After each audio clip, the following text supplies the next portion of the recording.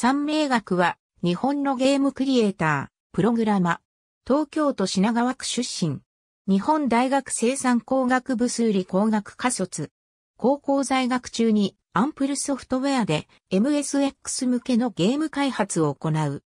この時に上司だった板倉雄一郎の最初の会社、ザップの企業に協力し、いくつかの MSX 向けゲーム制作と PC 向けゲーム制作を行う。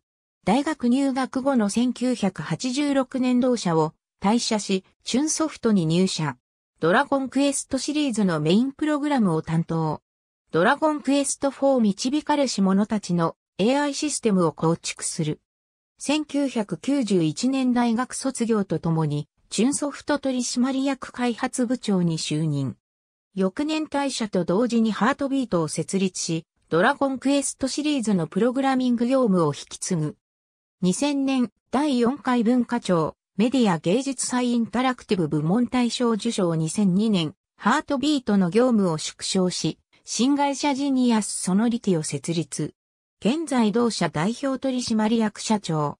ポケットモンスターシリーズ周辺のゲーム制作を行う。2012年、ハートビートの活動再開を発表した。ありがとうございます。